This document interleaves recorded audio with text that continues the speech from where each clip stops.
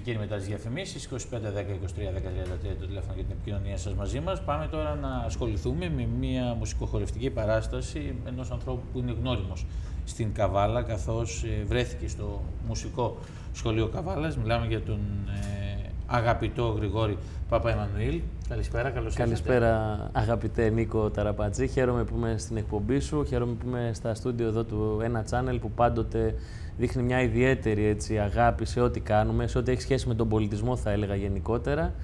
Και χαίρομαι που τα αντανακλαστικά εδώ και της διοίκησης αλλά και του προσωπικού ήταν τόσο γρήγορα που μόλις βγήκε ένα δελτίο τύπου δέχτηκα μια πρόταση να έρθω να μιλήσουμε για αυτή την όμορφη πράγματι παράσταση, το ξενιτεμένο μου πουλί, που θα παρουσιάσω τη Δευτέρα στη Δράμα με αφορμή και την ε, ημέρα μνήμης και της Πολιούχου και προστάτητος της δράμας της Αγίας Βαρβάρας. Ε, είναι η συναυλία αυτή στις 8.30 ε, ώρα στο Δημοτικό Οδείο, αμέσως μετά την έναρξη της Ονειρούπολης. 7 η ώρα θα γίνει η έναρξη της Ονειρούπολης στο Δημοτικό Κήπο από τον Ευγένιο Τριβιζά. Στις 8.30 ώρα στο Δημοτικό Οδείο εγώ και οι συνεργάτες μου, ο Γιώργος Οξουλόγης, ένα πρόσωπο πολύ αγαπητό και γνωστό εδώ στην περιοχή της Καβάλας και όχι μόνο. Και διεθνώς αναγνωρισμένο. Και αυτό θα έλεγα και όχι μόνο. Ο Γιώργος είναι ένας καταξιωμένος πλέον συνθέτης, με σπουδαίες περγαμηνές. Εγώ του έκανα αυτή την πρόταση όταν έτσι τη δούλευα στο μυαλό μου από πέρυσι το Πάσχα και δάσκαλε με μεγάλη χαρά θα το κάνω και με λέει δάσκαλε γιατί τον είχα και στο Μουσικό Σχολείο της Καβάλας πριν 20 χρόνια, πρώτη γυμνασίου εκεί τον Γιωργάκη, τότε ένας νέος ας πούμε φέρελπης με πολλές περγαμηνές, αλλά και στη συνέχεια στη Θεσσαλονίκη στο κρατικό οδείο ε, όπου πήρε πτυχίο και δίπλωμα βυζαντινής μουσικής και άρα έχουμε μια πολύ καλή σχέση από χρόνια. Και το συγχωρεμένο τον παππού του, τον, αυτόν μεγάλο ψάλτη, τον Γιάννη τον Κλωναρίδη, τον ε, έτσι είχα πολύ σεβασμό και αγάπη και όταν έμαθα ότι είναι και γονός του ο Γιώργος Οξουλόγης, ακόμα περισσότερο έτσι προσπάθησα να ασχοληθώ με το ταλέντο του. Εκτός από τον Γιώργο θα είναι μαζί μου, που ο Γιώργος παίζει κιθάρα και τραγουδάει και έχει κάνει και τις ενορχιστρώσεις στο, στο πρόγραμμα. Είναι η Κατερίνα η Τετερίνα, μια σπουδαία πιανίστα, η οποία όμως και αυτή τραγουδάει αλλά και χορεύει. Γιατί έχουμε μαζί μας και τον Ιβάν τον Γιεγκόροφ, ο οποίος είναι ένας σπουδαίος χορογράφος και χορευτής και κάνουν μαζί ε, και ωραία ντουέτα, αλλά και ο Ιβάν από μόνος του πολύ ωραίες χορογραφίες. Είναι μια παράσταση που ξεφεύγει από τα κλισέ και από τα καθιερωμένα και όσοι την είδαν το καλοκαίρι πραγματικά ενθουσιάστηκαν και αυτό οδήγησε να τη ζητήσουν από τη διοίκηση του πολιτιστικού οργανισμού εκεί και τον πρόεδρο, τον κύριο Ανέστη Τερζή, να την ξαναδιοργανώσουν στην περιοχή μας. Και επίσης μαζί μας επί σκηνής, για να μην ξεχάσω, είναι και η Στέλλα Ιτσιότσιου με το βιολοντσέλο της, με το ευρηματικό της παίξιμο στο βιολοντσέλο που γεμίζει τη σκηνή με αυτό το ωραίο ηχόχρωμα που βγάζει αυτό το μοναδικό όργανο. Ε, εγώ θέλω πραγματικά να κάνω ένα κάλεσμα σε όλους τους φιλόμουσους της δράμας, της καβάλας, της ευρύτερης περιοχής να έρθουν τη Δευτέρα το βράδυ 8.30 ώρα στο Δημοτικό Οδείο.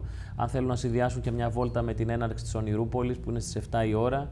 Βέβαια στη δράμα αυτό το διήμερο έχουμε και άλλες εκδηλώσεις. Είναι αυτό το πολύ ωραίο έθιμο με τα καραβάκια που γίνεται την παραμονή της εορτής ε, δηλαδή την Κυριακή το απόγευμα, μετά την Λιτανία, μετά τον Εσπερινό, αρχίζουν οι γονείς, οι παππούδες, οι γιαγιάδες με τα παιδάκια και τα αυτοσχέδια καραβάκια να πηγαίνουν με ένα κεράκι πάνω, να τα εναποθέτουν εκεί στα νερά της ε, λίμνης της Αγίας Βαρβάρας, στέλνοντας έτσι αυτήν την ε, ευχή που κρατά αιώνες πίσω και είναι χαμένη στο πέρασμα των χρόνων.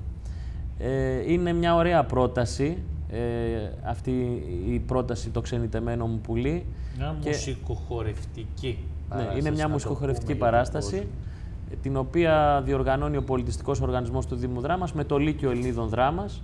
Δεν έχει όμως παραδοσιακούς χορούς. Ε, έτσι, ο Ιβάν και η Κατερίνα, ο Ιβάν μόνος του και στα ντουέτα με την Κατερίνα, σε μερικά από τα θέματα που τραγουδάω, τα οποία θέλω να πω εδώ έχουν αναφορές, είναι τραγούδια της ξενιτιάς και της προσφυγιάς ως επιτοπλίστων, ας πούμε, με μια διασκευή που έχουμε κάνει, λέω και το ψωμί της ξενιτιάς του Στέλιου του Καζατζίδη. Ε, λέμε τραγούδια του Απόστολου Καλδάρα, του Σταύρου Ξαρχάκου, του Βασίλη Τσιτσάνη. Κάνω και ένα πέρασμα βέβαια ο κόσμος με έχει γνωρίσει κυρίως από την παραδοσιακή και τη βυζαντινή μουσική και δεν θα μπορούσαμε να αφήσουμε εκτός αυτά τα ακούσματα, αλλά ως επιτοπλίστων είναι κάτι πρωτόγνωρο αυτό που ακούει και αυτό που βλέπει ο θεατής, ακροατής. Και νομίζω ότι όσοι θα έρθουν, όσοι αποφασίσουν να έρθουν στο Δημοτικό Οδείο την Δευτέρα ε, στις 8.30 το βράδυ, στο Δημοτικό Οδείο Δράμας, ε, θα αποζημιωθούν. Είναι μια ωραία παράσταση, εφραίνει τα μάτια, εφραίνει τα αυτιά, εφραίνει τις ψυχές. Στόχος μας είναι να περάσουμε μηνύματα αγάπης, ειρήνης, συναδέλφωσης των λαών. Στόχος μας είναι λίγο αυτό το σκυμμένο κεφάλι, Νίκο μου, που έχουμε όλοι κάτω από όλα που συμβαίνουν στην περιραίως ατμόσφαιρα, να το σηκώσουμε και για δύο ώρες περίπου να αφήσουμε τα προβλήματά Δύο μας. ώρες, ε. Είναι περίπου δύο ώρες το πρόγραμμα, η παράστασή μας, δύο ώρες παρά δέκα λεπτά, παρά ένα τέταρτο και νομίζω ότι ε, είναι καλύτερο να φεύγει κάποιος με την αίσθηση τι καλά να έχει λίγο ακόμη, παρά να φύγει με την αίσθηση αμάν, τελειώνεται, βαρεθήκαμε. Αυτός ήταν ο στόχος μας. Από εκεί και πέρα πάντοτε ε, ο κόσμος θέλει να πούμε και ένα-δυο τραγούδια παραπάνω και δεν χαλάμε το χατήρι. Έχω και κάποια ντουέτα με τον Γιώργο τον Ξουλόγη. Λέμε μαζί την Εθνική Οδό του Αντώνη Βαρδί, λέμε μαζί τη Θεσσαλονίκη ε, του Θάνο Μικρούτσικου.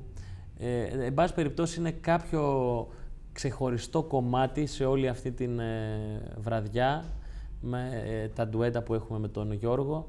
Ε, επίσης είναι πάρα πολύ ωραίο το σημείο που ε, ο Ιβάνο Γιεγκόροφ με την Κατερίνα εκεί προς το τέλος της παράστασης ε, λέω, εγώ- εγώ λέω το βλέφαρό μου, ένα νανούρισμα ε, που πρωτοτραγούδισε ο Χρόνης Αιδονίδης, αυτός ο μεγάλος δάσκαλος του παραδοσιακού μας τραγουδιού και κάνουν μια εκπληκτική χορογραφία τα παιδιά που πραγματικά κόβει ανάσες. Δηλαδή δεν περιμένει πραγματικά ο θεατής, Με αυτό το ακροατής τραγούδι να, να- να γίνει αυτή. Μάλιστα. ε, ναι, να δει κάτι τέτοιο από αυτό, από, όπως αυτό που βλέπει ας πούμε. Α μην πούμε τι για να έχει και την Ναι, αγωνία. ναι, ναι. Λοιπόν, να σε ευχαριστήσω πάρα πολύ. Υπενθυμίζουμε ότι είναι τη Δευτέρα, 4 Δεκεμβρίου, είναι η μέρα ε, που ξεκινά η Ονειρούπολη στη Δράμα, 8.30 ώρα στο Δημοτικό Οδείο Δράμας. Όπως είπαμε, η μουσικοχρευτική παράσταση του Γρηγόρη Παπαϊμανουήλ, ξενιτεμένο μου πουλί. Θα έχουμε τη δυνατότητα τη Δευτέρα να σας το ξαναθυμίσουμε και να το δούμε.